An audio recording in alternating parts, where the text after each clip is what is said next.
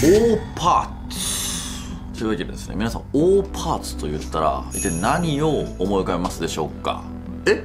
大パーツ？はい。いやあの古代に残されたそこに存在してはいけないようなあそうそうそう。もう今の技術では再現できなかったりだとか、そこの昔の時代では明らかに存在しない技術のものがあったりするんですけど、うんなるほど。まさにそんなものがライワトゥルーですね。あなたは信じる巷に転がるね大パーツ紹介チャンネル。はい。小焼スタジオですけども。はい。まあ、こちらのものもね、一説に大パーツなんじゃないのかそれバッタモンや。まあ言われたりもしてるわけなんですけどバッタモンやね。ネットに買ったやつ。まあねあの猫とかもね結構大パーツやって言われたりもするんですけあんなど本の上に置く普通ちっちゃい猫はいまあわけなんですけども、はいまあ、そうじゃなくてですねこちら、まあ、有名ですね。黄金のスペースシャトル。これ大パーツ界の松井秀喜みたいなもんですから。まあそれぐらい有名。初めて聞いたわそれ。オーストラリアの重要席に描かれたこのミッキーマウス。ミッキーマウスではないと思うねんな。えこれどんな鳴き声で鳴くのこれはで世界にはこういう大パーツと言われる、まあ、作られた場所や時代に存在するはずのないものが多く存在してるわけなんですよ、はい。まあ、実際にナスカの地上絵とかピラミッドとかいろいろ有名なものはありますけども大なり小なりね。ただですね日本にも大パーツ結構あるんですよ。大体外国で見るような感じですか？そうじゃないですか、日本の大パーツ皆さん知りたくないですか？知りたいよね。その中には。したら予言をしてるようなものもあるかもしれない。予言。ちょっと話していこうと思うんです。はい。こちら見てください。うん歌川国吉さんが描いたうん「唐と三股の図」っていう絵なんよ、まあ、これ江戸時代の隅田川付近を描いてるらしいんやけど見て。スカイツリー。おお江戸時代。にスカイツリー。江戸時代に描いてるんですよ。予言としか言いようがない。もう一個なんか隣に塔ありますよ。それ何ですか？こういうこと？はえ隅田川がそれ2つ並んで見えるかな？これはね見えないんですおおダメじゃん。あそうなんですよ。え？まあ、これは都市伝説業界ではこれスカイツリーに見えてあすごいねみたいなこと言われてで、まあ、結構調べたんですよね、うんうん。縮尺的にこう634メートルあんのかとか、おおまあ、それ調べた結果あ、まあ、まずそこもなかったしあれ？で場所的にも違うし、うんうん。まあ、これは井戸を掘るために一時的に組まれた櫓なんじゃないのかって言われてるんやけども。なるほどなるほど。ただこの人ほんまに予言できたんじゃないのかって言われてる作家なんですよ。えー、ちょっと怪しんでますよ僕は。これ本物のやつ持ってきました今日は、本物のね、はい、このスカイツリーとかじゃないです、うんあるの？はい。こちら。うわ。え何？これ？え？怖っ。え一緒やんえなんか鏡とか見てる本かな？これはね。iPhone や。んえこれさだから鏡とか見てんちゃう？かこれ。えこれ iPhone やな。ええ？怖っ。え？実はこの絵ねちゃんとタイトルがついていて、はいはい。江戸自慢名物比べ駒込のナスという。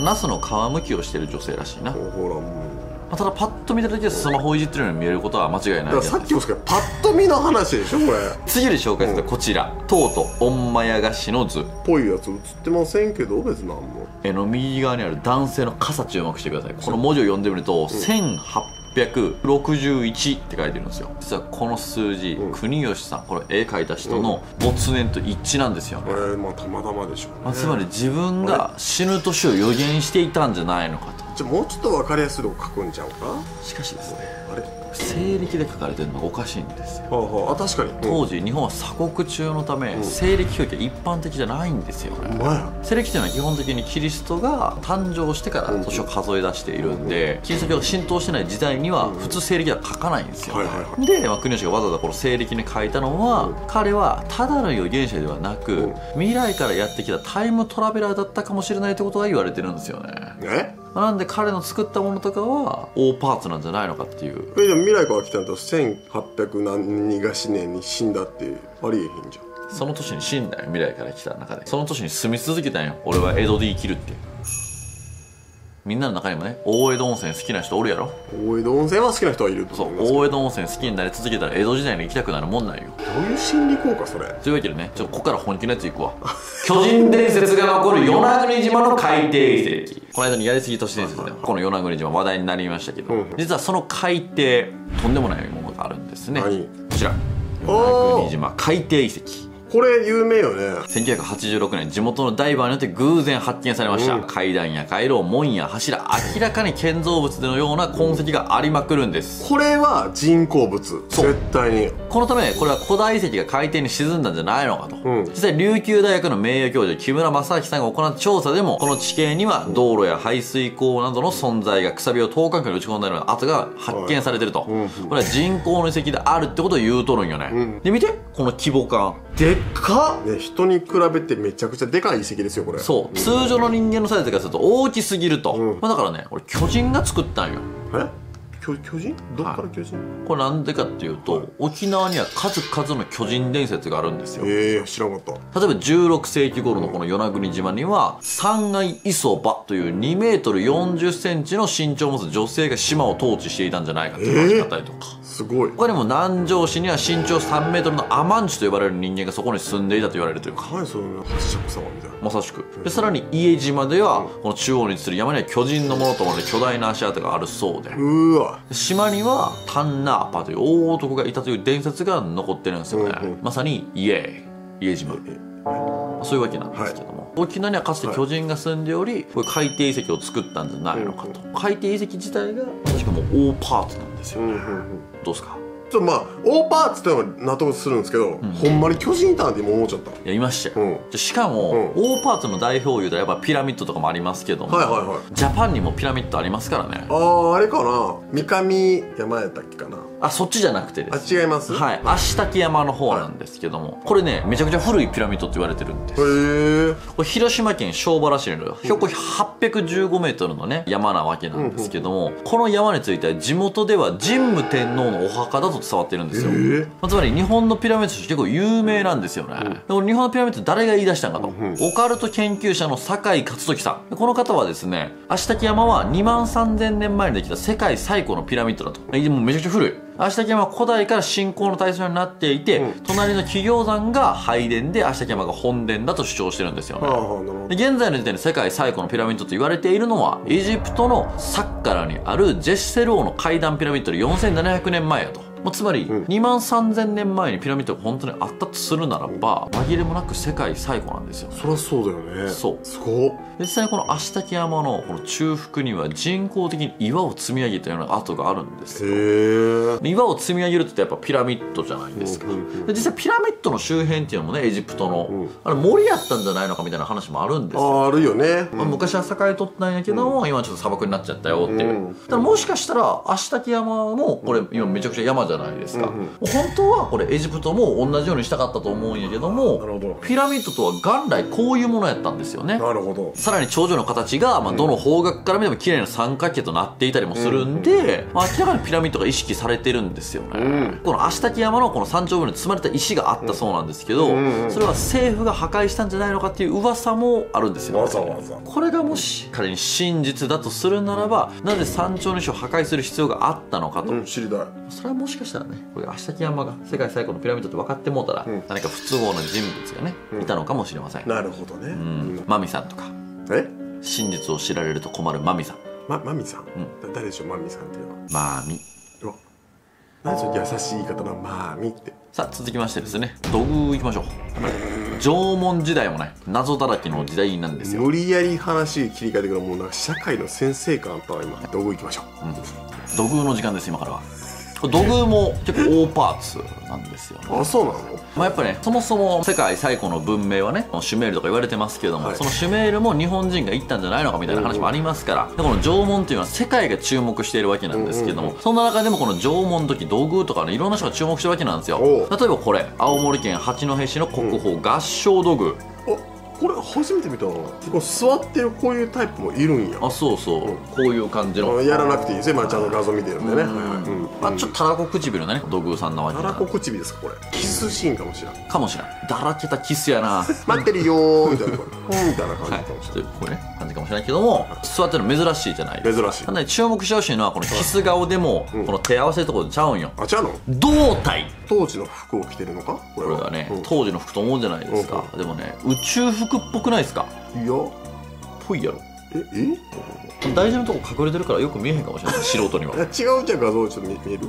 それはないから。いいんや。あれ？み見た見た。俺は見た でですね同じく青森県の亀ヶ丘遺跡からは見てくださいこちら。出た！遮光器道具そう。好きやわ。道具っつったらこの形よね。まあ、レンドールみたいなね。ポケモンの。胴体に宇宙服のような模様がついてないけども。え宇宙服ってその模様ついてるんですか？あそうそうついてるついてる。ええボタンみたいな。ええ？でさらに顔にはこの巨大なゴーグルのようなものがあれついてるわけじゃないですかうんうんうんで実際あの大人気ゲーム「あつ森」集まる動物の森ではですね、はいはい。美術品として登場する偽物の遮光器土偶は顔の横に長いアンテナがついていて、えー、そうなの？夜は目が光りさらには触るとまるで無重力空間にいるかのように動くと。え宇宙人を明らかに意識されてるんですよ。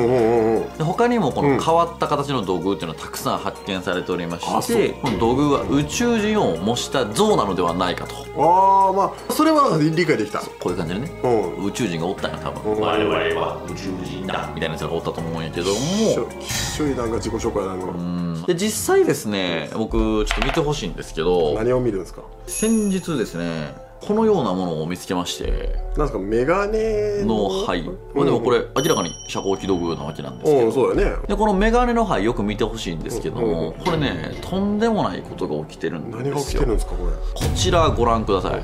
壊れたメガネが置かれてしまっているんですねどういうことかと、うん。まあ、メガネの仕事してるよっていう人がこの復元したらしいんですけども、うん。そのところに壊れたメガネが置かれているという状態なんですね、うん。だからどういうことってそのまんまの意味なんですよ、意味が分からへん。ただお供え物かのごとくこの壊れたメガネが置かれているところに僕は非常に怖さを覚えてしまったんですね。メガネの道具やからちゃうの？なんか。どうすんのよ壊れたメガネ置くスポットになったら。俺の知ったこっちゃないよそれはなんか。どういう意味でこれを作りはったのかも分からへんしこれどこでこれを撮ったのこの写真は？これ熱田神宮え？熱田神宮行ってきたの？熱田神宮行ってきた。いつ？この間名古屋のライブ帰り。あそうなん？うん。へえ。やっぱこんだけ肥やしてる神宮紹介してるから行きたなるやん。うん。まあ熱田神宮いいよね。そう、ん。であっちの蓬莱軒の方が空いてんねん。蓬莱軒行くついでに熱田神宮行ったったみたいなことですか？え？あえ？まあね宇宙人と接触してね、まあ、蓬莱軒とも接触したと、まあ、実際蓬莱もねあの楊貴妃の話ですから、はどうですか？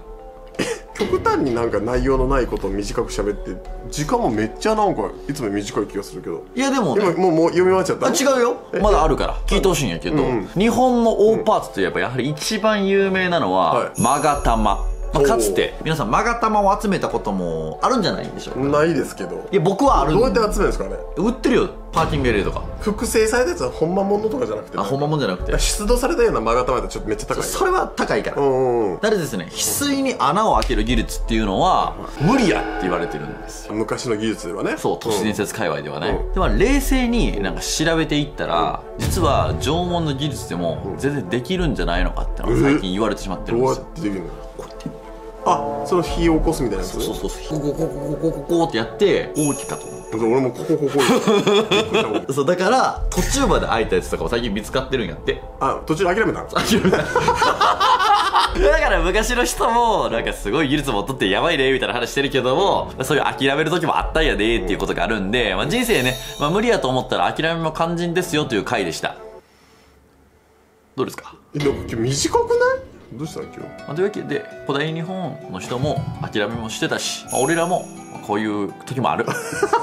全然諦めも必要や。これなんでこんな回もありますと。聞きやすいサイズだよ今日は。日本の大パーツもね楽しいっしょ。うん。それでは本日の鳥肌スコアは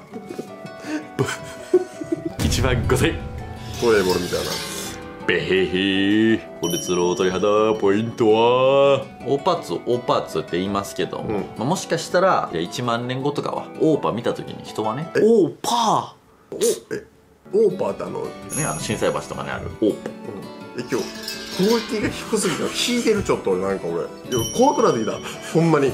え年内100万人目指してるんですよほんまに。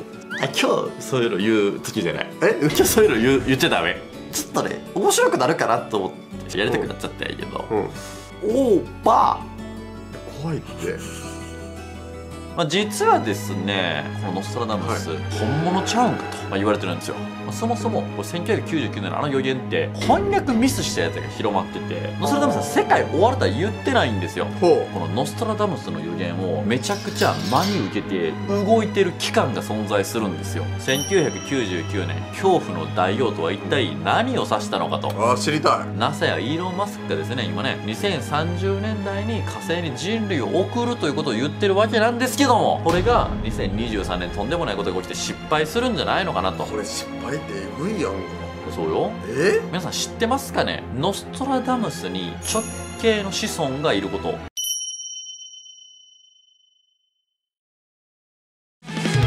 クバーで2種類を混ぜたさ」